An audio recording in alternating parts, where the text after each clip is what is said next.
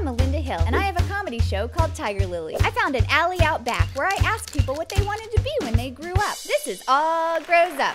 Please welcome my guest, Andy Dick. I can't. I don't know if this is the. Is this the handle? I have a guitar player actually. Can I bring him on? Well, this isn't actually a music.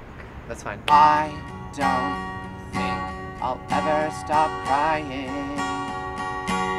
Andy, what did you want to be when you grew up? I started making little. I mean, we didn't crank. Purring them. noises? No, that's that was an old-fashioned Super 8 camera. Who gave you this sort of go ahead, this sort of, you're talented, Andy, you should do this? I did this um, play. It was called Look Back in Anger. Two casts. On Friday, it was the young one. On Saturday, it was the, I'm talking 50s and 60 year olds. And there was only three people in the whole cast. I was all, all always angry and yelling, and I was the lead, and I was screaming, and we had makeout scenes. And I was like supposed to be probably 30, but I was 17, and I'm the lead in this fucking play.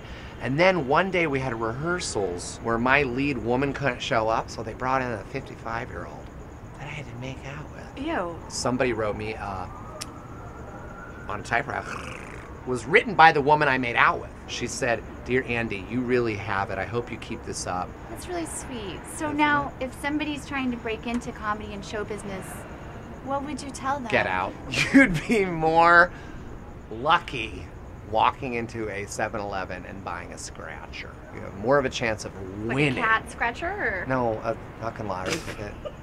Do you feel that your childhood dream has been realized? 10 times over. That's part of why I drank. It's an actual thing called the cosmonaut syndrome, where you go to the moon, you come back, and then it's like, now what? So you sort of hit it big. And I hit, went to the moon, baby!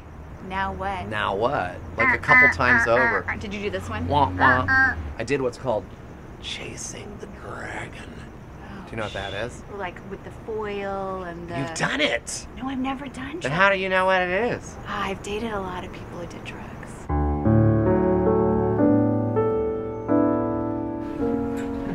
Is this the only way out? This is like the worst fucking studio I've ever.